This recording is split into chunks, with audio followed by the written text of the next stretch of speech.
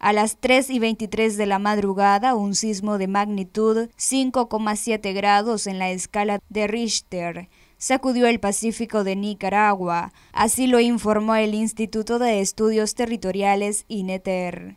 Según la información de la Dirección de Sismología, el movimiento telúrico tuvo una profundidad de 35 kilómetros y se ubicó a 50 kilómetros al suroeste de Jiquilillo, en Nicaragua.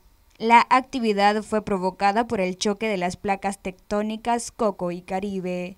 Tras este sismo ocurrieron cuatro réplicas entre las 3 y 36 y las 3 y 49 de la madrugada, según indicaron las autoridades.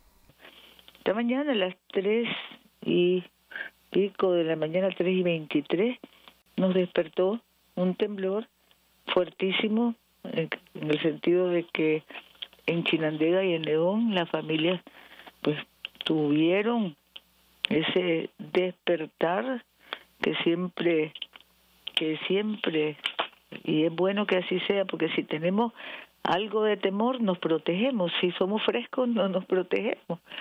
Ese despertar con algo de temor y gracias a Dios no fue nada trágico en el sentido de vidas o de pérdidas materiales, sí fue fuerte y llevamos hasta la fecha a ver 18 réplicas que no se han sentido.